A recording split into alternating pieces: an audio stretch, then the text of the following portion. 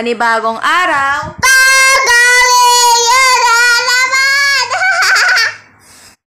So ayan guys, since marami nagre-request na gumawa daw tayo ng guide about sa mga character, so gagawan natin yan.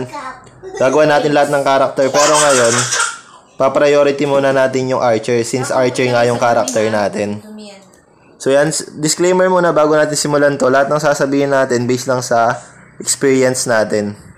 Yan. So sa mga Archer user dyan, pwede kayo mag-comment sa baba kung meron kayong mga suggestion o kaya meron kayong tips and tricks para ma-apply din ng ibang player. So yan, simulan na natin to. Let's go. What is it? Let's go. like a Hellcat.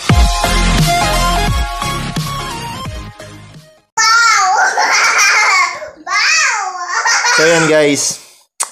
Una-una kong ah, ituturo sa inyo is dapat mag-focus muna kayo. Mapa-early man yan, mapa-mid, mapa-late game. Kailangan nyo talaga mag-focus sa hit and play. So bakit kailangan nyo ng hit and play? So punta muna tayo ng character guys. Punta ka ng character. Ito. Onions. Tapos, click mo tong question mark, guys. Tapos, hahanapin natin yung hit and play na meaning. Para maintindihan natin ng mas mabuti, di ba? So, ito guys, mapapansin nyo. Ito yung hit. Ito naman yung play. So, sabi sa hit, it determines character character's hit rate. A higher value indicates a better chance to hit the target.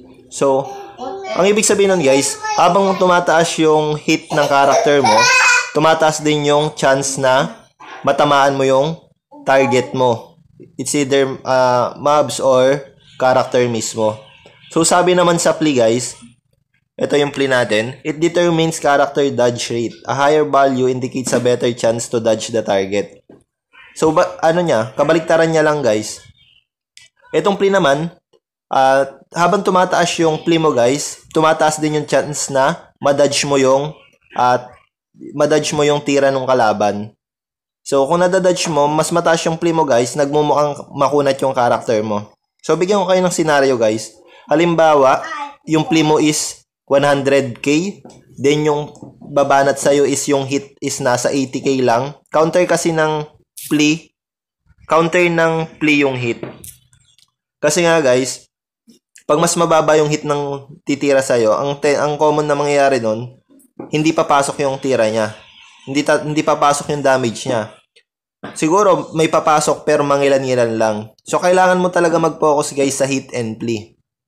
So, sa hit, kailangan mo mag-focus para tumaas yung chance na makapasok yung damage mo. Makounter mo yung mga high play character. So, yung mga high play character, guys, commonly, ano yan, archer. Lahat naman ng character depende sa focus nila. Pero yung archer talaga, guys, yung pinaka-high high play character. Bakit ko nasabi? Kasi nga, guys, kung pupunta kayo ng skill ng, ano, ng archer, pag kinlik mo tong ultimacy niya na to, yan, ito nasa side, guys. Pag nasa screen, nasa right side, tama ba? O, nasa right side. Pag kinlik mo yan, tapos binasa mo, basahin mo, Archer for- further activates her potential increasing her dodge rating. So, since yung dodge is play nga, di ba? So, pag nag-buff ka niyan, yan na yan yung naka-activate, tataas yung play mo, guys. Tataas yung play mo at the same time, tataas din yung dodge rating mo. Since yun nga yung pinapataas niya. Tapos ito naman guys, huwag kayong maku- makukonfuse dito sa buff ng Archer guys ha. Pag nakuha mo na tong dalawang to, pag kailangan mo i-buff yung mga kasama mo, attack buff kasi to guys, at the same time meron mga ibang effect. Itong nasa left side naman guys na ultimacy, mababuff mo yung mga teammate mo. So meron din silang additional attack. Tapos ito naman self-buff lang to guys, tapos madadagdagan yung dodge rating mo. So mas maganda, Ah, magpalit kayo time to time kung ano yung kailangan nyo. Lahat ng ultimacy guys meron. Halimbawa, ito naman guys. Nakalagay dito enemy large area. So kung pangmaramihan yung gusto mong matamaan, ito yung i-equip mo. Pag sa ano naman, pag close fight 1v1, ito naman yung equip mo. Yan. Ganun lang. Basahin nyo lang yung mga mga effect nung ano guys, ng mga skill nyo. So balik tayo sa hit and play guys punta tayo ng character natin. So, pakita natin yung hit and play natin. So, sa hit and play natin, guys, hindi naman ganun kataas, pero hindi rin ganun kababa. Sa hit natin is meron tayong 388,000. Then sa play is meron 180,000. So, mas mataas sana yan kung meron tayong Heart of Spirit na orange. So, ano yung Heart of Spirit? Yung Heart of Spirit naman guys, punta yung character. So, kung di nyo masundan guys yung mga pinagsasabi ko, replay nyo na lang para mas maintindihan nyo mabuti. Tapos punta kayo ng Spirit. Kailangan nyo kasing i-focus tong mga to. So, yan. Punta ka ng Spirit, tapos sa baba lang yun guys. Yan. Pag kilik mo yung Heart of Spirit, mapapansin nyo, meron tayong blue, meron tayong green. So, bago yung ano, yung orange guys, maganda ang susunod ang susunod na maganda doon is purple. So lahat ng heart spirit natin is purple pa lang, so hindi pa tayo nabibiyayaan ng orange. Mas mataas sana kung orange tong play natin tapos ma-upgrade natin. So mas mabubush yung play natin kung orange ang mga yan. So sa mga sa host naman guys, host kasi tawag nila dito. Shortcut for Heart of Spirit. So, ang nire-required ko naman sa inyo, any character to guys ha, any character. Una nyong i-upgrade is yung damage absorb, damage resist, plea, hit, yan. Yan yung mga priority, prioritize nyo, yung apat na yan, ito. Damage absorb, damage resist, plea, and hit. So, bakit? Kasi nga, tulad ng sinabi natin kanina, yung hit and play, kailangan mo mapa-early, mapa-mid, mapa-late game. Kailangan ng character mo yan. Yung damage absorb naman tsaka damage resist guys, kailangan mo din para kumunat yung character mo. So, yung damage absorb, maraming source para mapagkuhanan yon Pero yung damage resist guys, medyo mahirap pataasin yon So, kailangan nyo talaga i-max kagad to.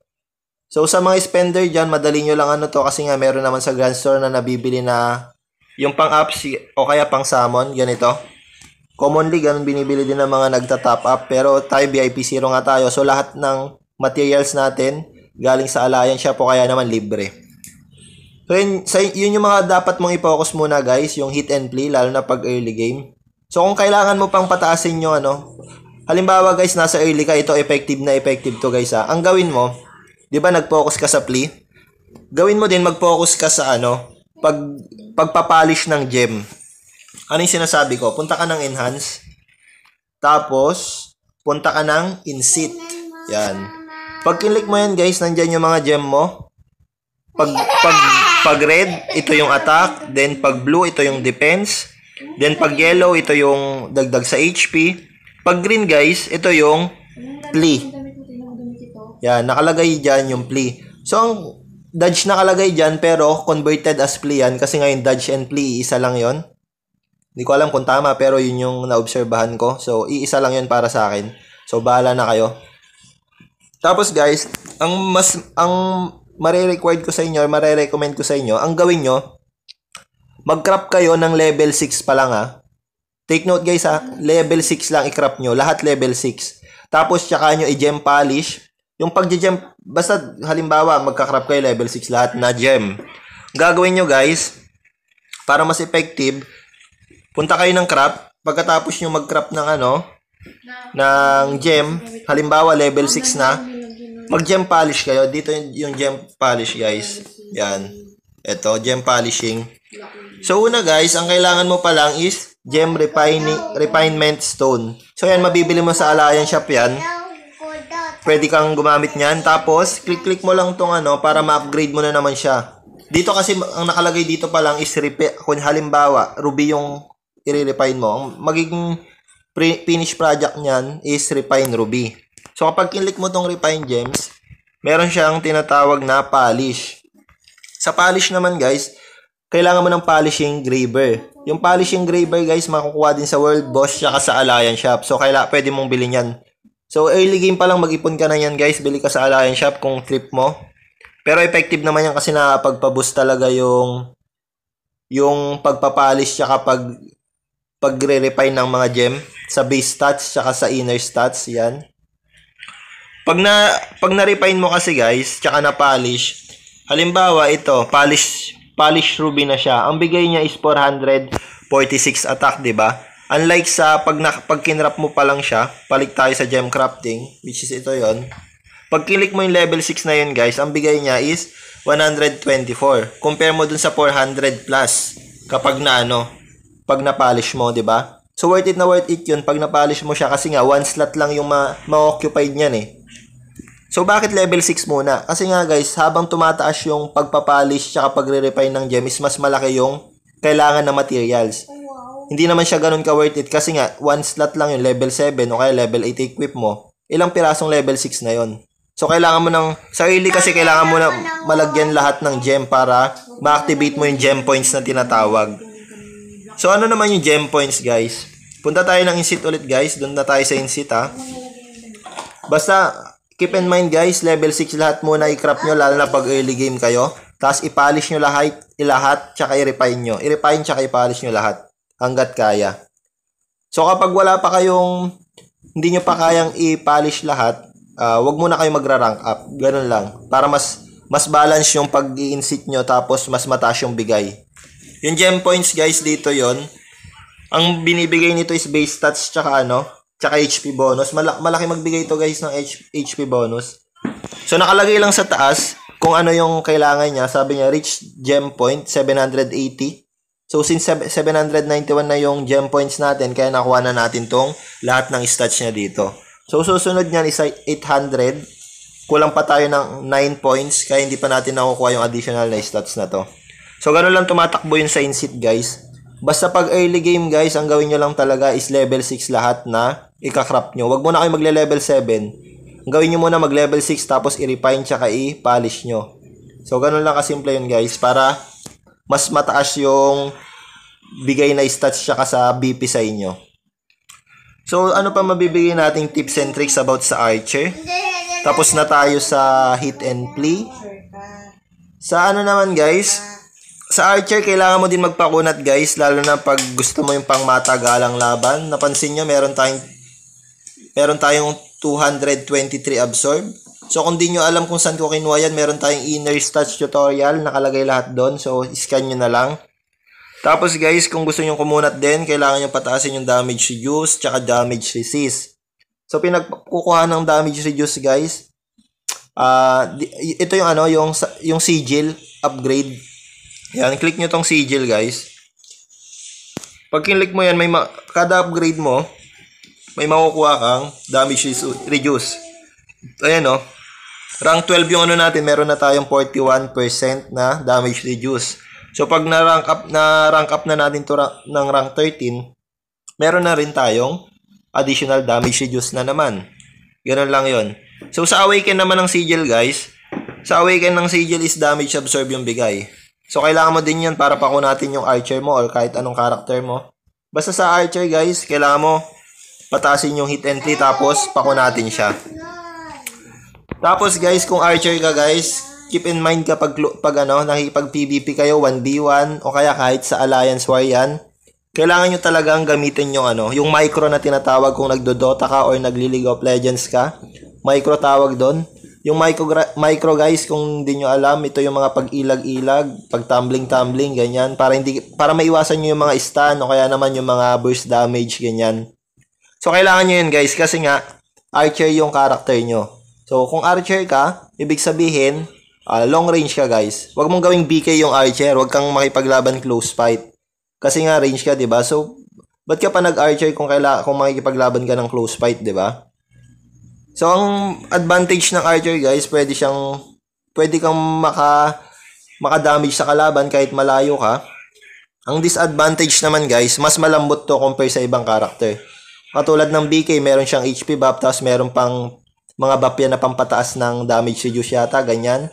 Ganon din yung ano, yung diviner, tsaka yung yung mage may mga pangpakunat na buff din yon.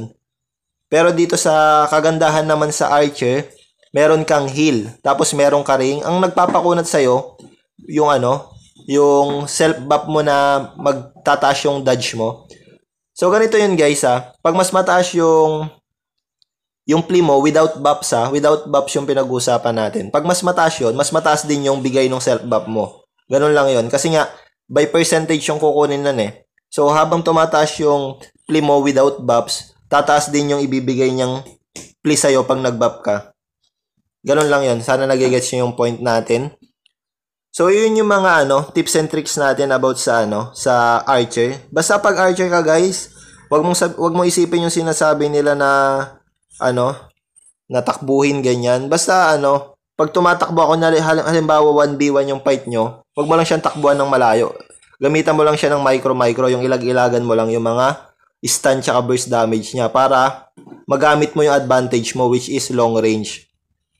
So kung gusto mo naman ng ano ng makipagpatayan ng harapan, mag-BK ka mag-BK kayo.